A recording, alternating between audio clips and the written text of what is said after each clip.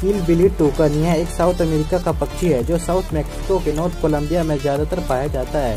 इसकी लंबाई 20 सेंटीमीटर और वज़न 4 किलोग्राम होता है। इस पक्षी की चोंच बहुत ही खूबसूरत होती है